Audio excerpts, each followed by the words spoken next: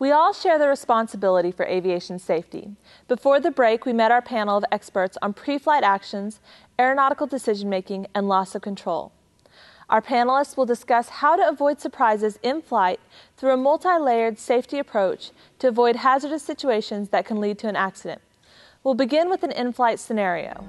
The owner pilot of a Cessna 185 had previously flown the aircraft for several hours without any control anomalies. He had taken his aircraft to an aviation maintenance technician to have the strobe light power supply replaced. Subsequently, the aircraft was loaded to maximum gross weight with the center of gravity at its most forward allowable position. No safety of flight concerns were discovered during the pre flight inspection. On this post maintenance flight, the owner was allowing another qualified Cessna 185 pilot to operate the aircraft from the left seat, while the owner occupied the right seat. The before takeoff checklist was followed and trims were set to their proper takeoff positions. Upon rotation, the left seat pilot asked if the aircraft had always flown nose heavy as he struggled to hold on to the control yoke. Both pilots began applying aft elevator pressure while assessing the situation.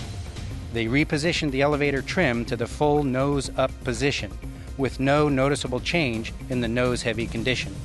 Working together to maintain aft elevator pressure, while one pilot also managed the throttle, they were able to land without incident. Sounds like these pilots were very lucky. What was the actual problem here, Steve? Why did these pilots struggle with elevator control? During the replacement of the strobe power supply, the elevator trim had been moved beyond its design limit. This caused damage to the elevator trim actuator, jamming the elevator trim in the full nose down position. Even though the trim actuator was damaged, the trim indicator was still operating.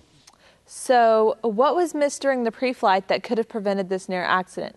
Was this just an incomplete pre flight? Was it a legal pre flight? And why wasn't the issue caught? Katrina, this was a legal pre flight that had the potential to become lethal. The pilots conducted a complete pre flight and positioned the trims in accordance with the checklist. Although the trim was jammed, the trim indicator was still able to move, giving the pilots a false trim position indication.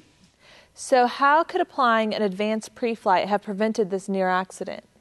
The pilots stated they had set the trims during the pre flight, but they did not visually confirm that the trims themselves were actually functioning properly.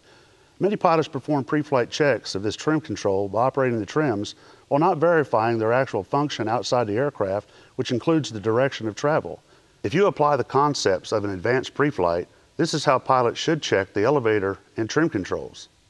Well, having that added knowledge about pre flighting an aircraft would have been an excellent first layer of defense in this situation.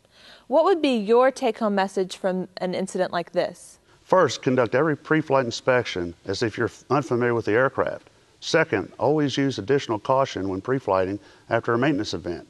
As our trim example reveals, a maintenance action that seemingly has no bearing on other aircraft systems, in this case the trim, could have led to an accident. And third, pilots who rent aircraft should treat every pre flight as if maintenance had just been performed. You just never know what has been done to a rental aircraft since you last flew it. Well, thank you, Steve. Those are some easy and reasonable pre flight tips for us all to remember. Since this near accident had a positive outcome, let's look at what pilots did right in terms of aeronautical decision making and flying the aircraft once they realized they had a problem. Janine and Rich, once the issue with the trim went undiscovered during pre flight, what might the pilots have done differently with regard to aeronautical decision making and aircraft handling? Well, Katrina, obviously the pilots worked well together to bring the aircraft back safely. From an observer's standpoint, it appears the pilots divided the manual workload, with both pilots applying back pressure to the yoke, while one of them also managed the throttle. This kept the aircraft under control. In a case like this, it is extremely important to communicate clearly and specifically to the other pilot what is going on. For example, the flying pilot would want to say that the aircraft is extremely nose heavy and how much force it is taking to keep it flying. Also, if they were at a controlled airport, they would want to declare an emergency and keep the conversation with air traffic control clear and concise. I agree. Of all the possible jammed control scenarios the pilots could have encountered, nose down is potentially the most difficult. Working together and not giving up, the pilots did the best they could under rather demanding circumstances.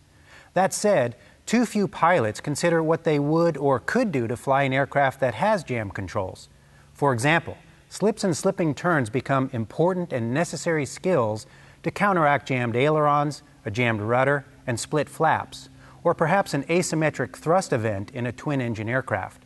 In the case of a disconnect of the elevator control system, many pilots are unaware that certificated aircraft are required to be controllable through landing by using trim and power alone.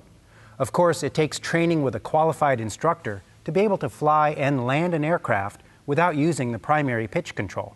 So it sounds like the key take home points from this scenario are always pre flight as if you are unfamiliar with the aircraft.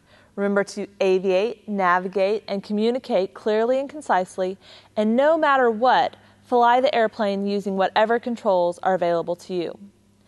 Let's take a short break, then we'll analyze the chain of events that led to a loss of control event that did not end so positively.